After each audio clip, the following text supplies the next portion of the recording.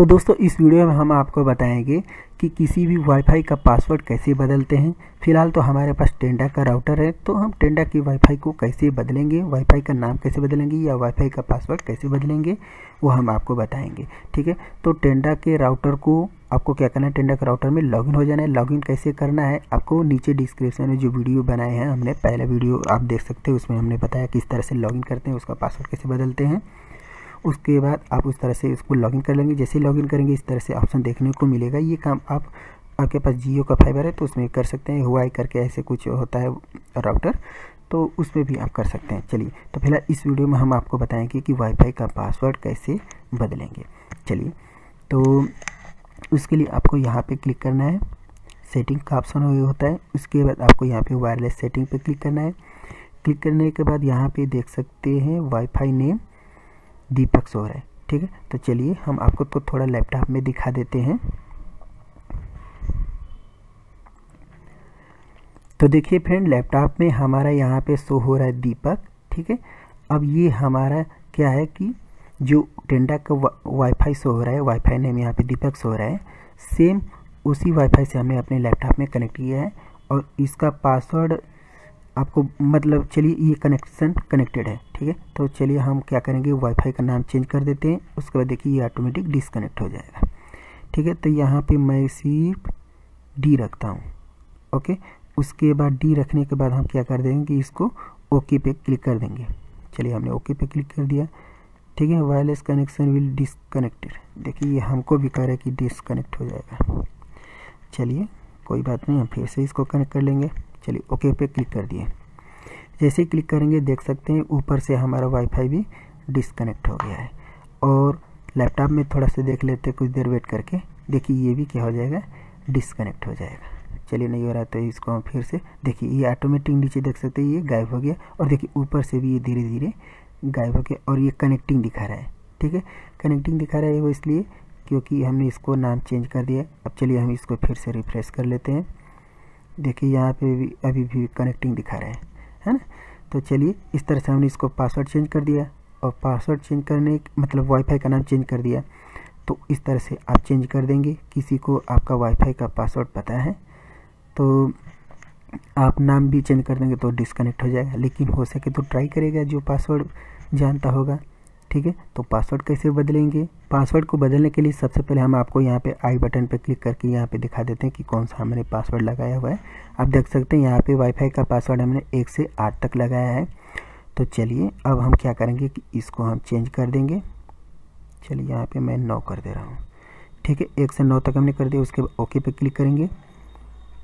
अच्छा इसको कनेक्ट करने के लिए, क्योंकि हमने जब नाम चेंज कर दिया वाईफाई का तो ये हमारे में भी डिसकनेक्ट हो गया है।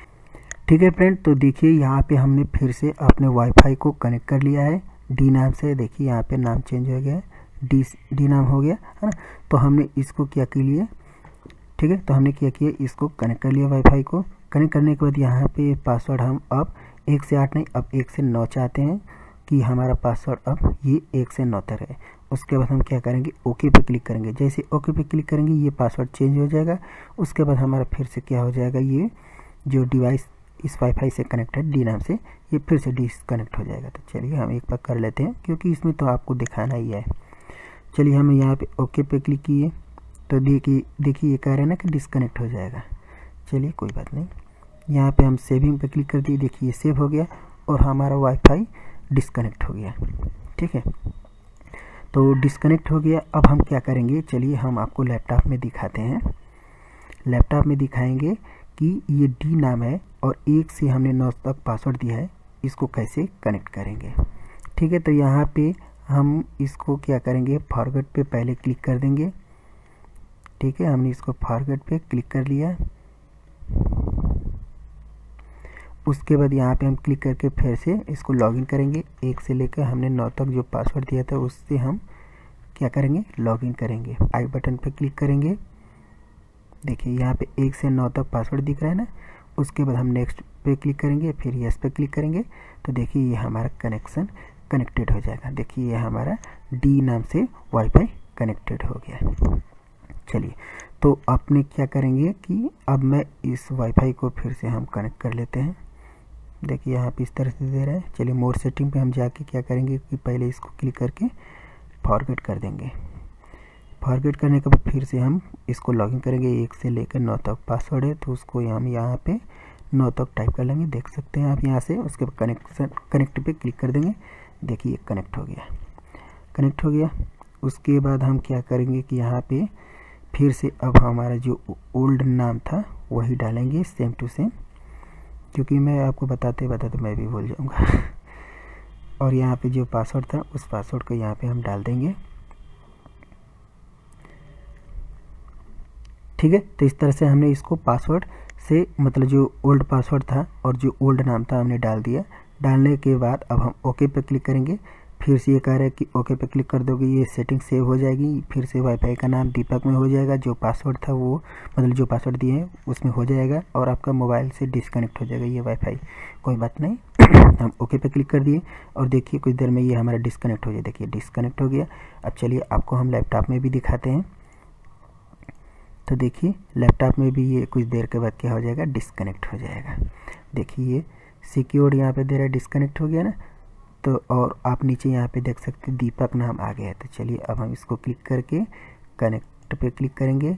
क्लिक करने के बाद जो हमने फिर से ओल्ड पासवर्ड दिया था, उस ओल्ड पासवर्ड से क्या करेंगे कि हम लॉगिन कर लेंगे।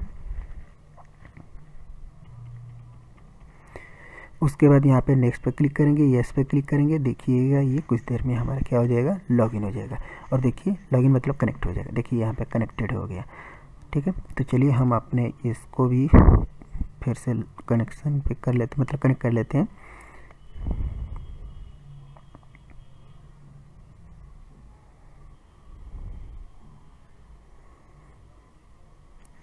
ठीक है तो इस तरह से हमने यहाँ पे पासवर्ड दे दिया और उसके बाद कनेक्ट पे क्लिक करेंगे। और देखिए, अब ये अपटेनिंग करने के बाद देखिए कनेक्ट भी हो गया और यहाँ पे आप स्टेटस देख सकते हैं।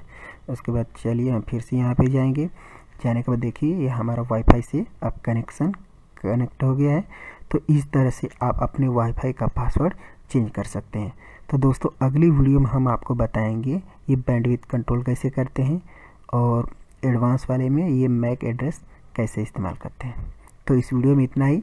फ्रेंड, यदि आप मोबाइल और कंप्यूटर से रिलेटेड वीडियो चाहते हैं, इस तरह का टेक्निकल वीडियो चाहते हैं तो हमारे इस चैनल को सब्सक्राइब कर लें और वीडियो अच्छी लगी हो तो वीडियो को लाइक कर दीजिए। धन्यवाद।